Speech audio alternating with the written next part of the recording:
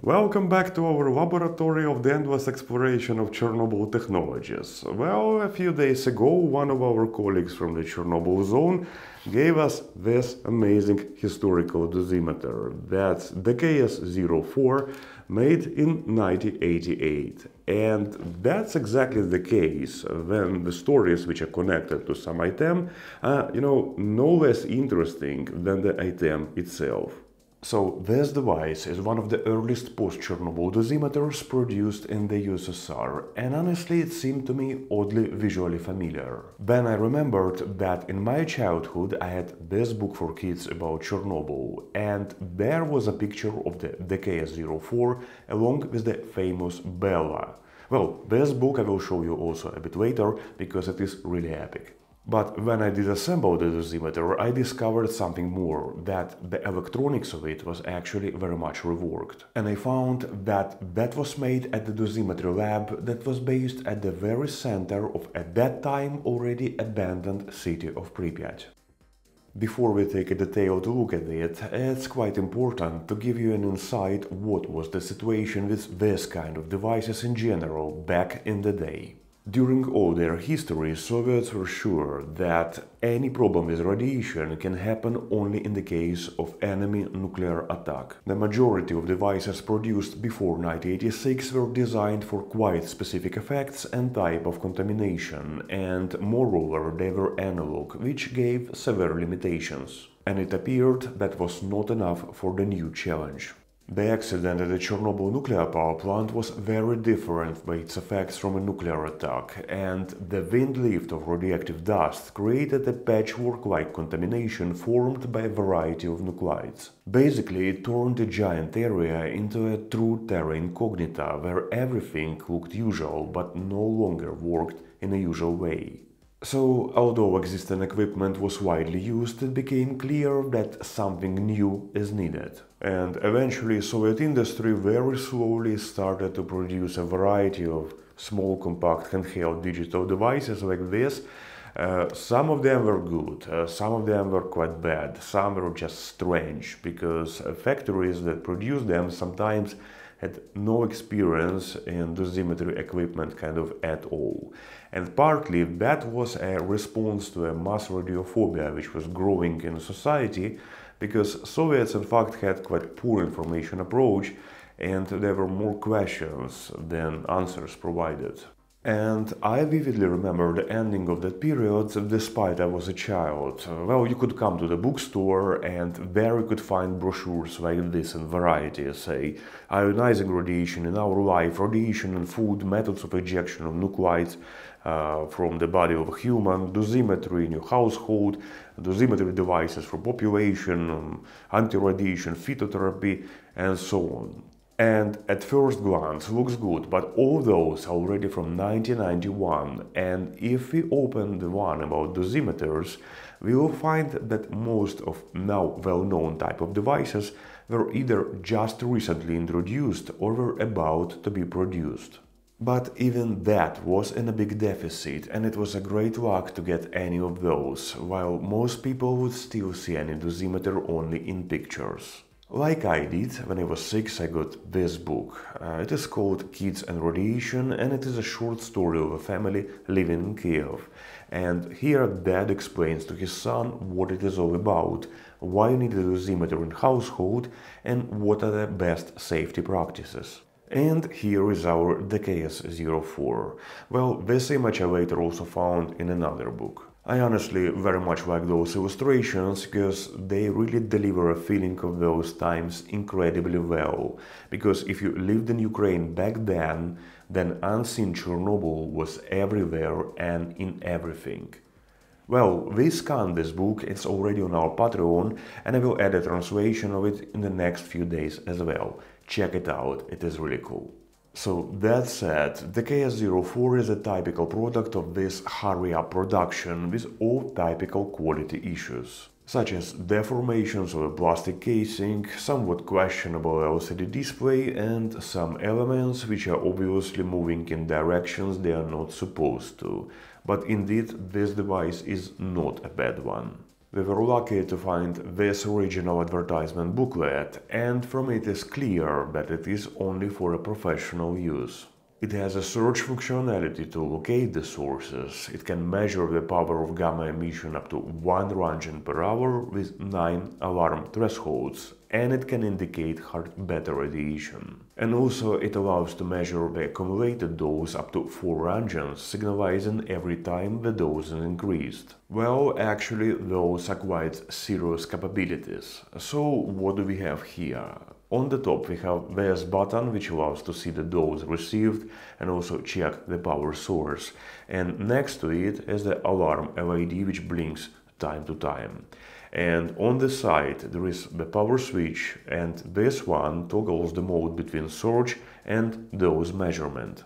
On the rear side there is this opening for beeper and there is this connector which is optionally used for a frequency meter and oscilloscope when you make a calibration process, when you expose this device to a standard check source.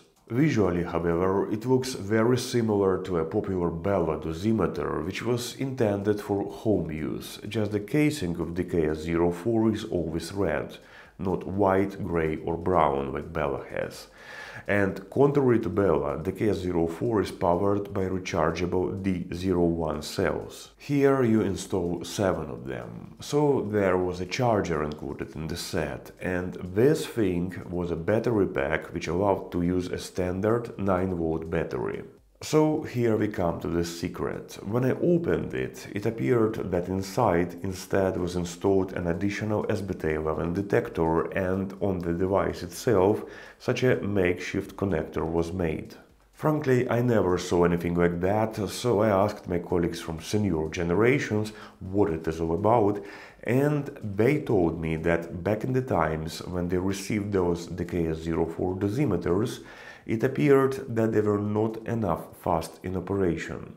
So those dosimeters were initially intended for laboratory use and they are based on a tiny SBM21 tube that has a cadmium shield. It is here, we'll later take a look inside as well.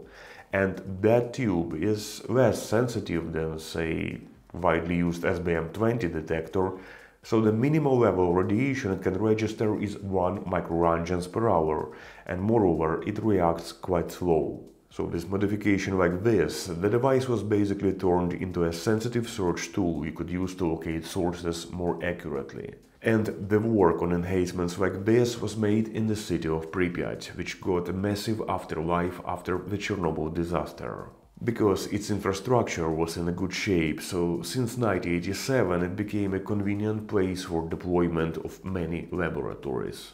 That was not easy. People worked in buildings with sealed windows, sometimes even pressurized using air conditioners to keep radioactive dust outside. Floors were wrapped with plastic, there were many many nuances of that work.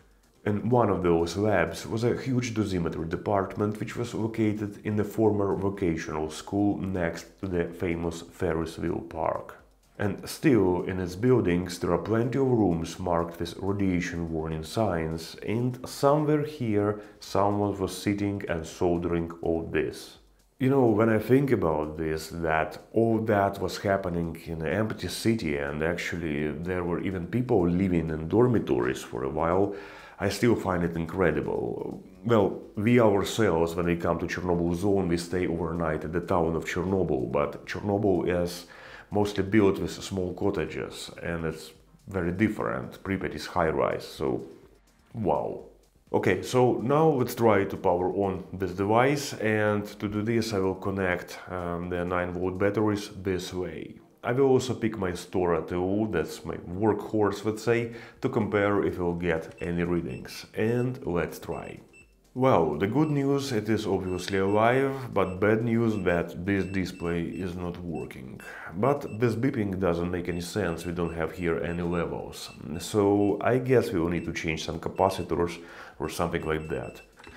Well, sounds like a Morse code.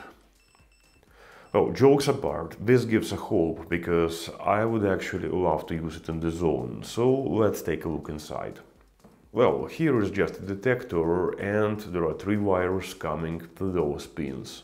And now let's take a look at the device itself. It is really easy to disassemble it and inside we have two socket boards placed one over another. The upper one has this quite damaged LCD display. Well, it's expectable because Soviet LCDs were really, really bad and vast majority of Soviet dosimeters have the same issues with them.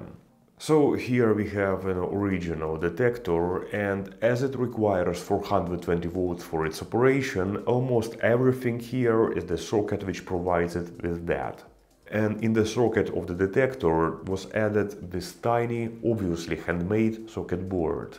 It contains two resistors, one capacitor and this chip, which is a 4-switch commutator and it's soldered to a few pins of that calibration connector. So I guess, uh, well, I might be wrong, but looks like that they turned that connector to sort of makeshift jumper. So you could use that or another detector. Okay, let's take a look deeper. So I'll unscrew this and we can take everything out. You know, I pretty much like how it is built. Yeah, there are a lot of wires, but it looks pretty well arranged and serviceable. So on both rocket boards we have many chips and they implement different functions. For example, these three chips partly provide a sound and light alarm with this beeper and the LED. And there is also this tiny gold chip on another side, which is a transistor assembly, and partly it works as a sound amplifier. Most of other chips provide actual measurement of the radiation level.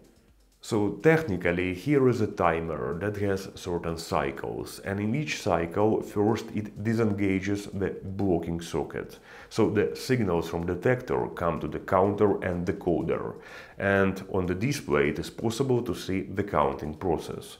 And then in the next part of the cycle it gets engaged again. Counting cycle stops and we have the result on the screen. If counter has the overflow that triggers the alarm. So such a nice little device. We for sure will try to repair it because I would love to try it in actual radiation conditions in action. Uh, and that's it for today. In meanwhile, check our Patreon page because there we uploaded some bonus materials and there we have also many interesting insights into the Chernobyl zone and the technologies used there. So link is in description below. And that's it for today. See you next time.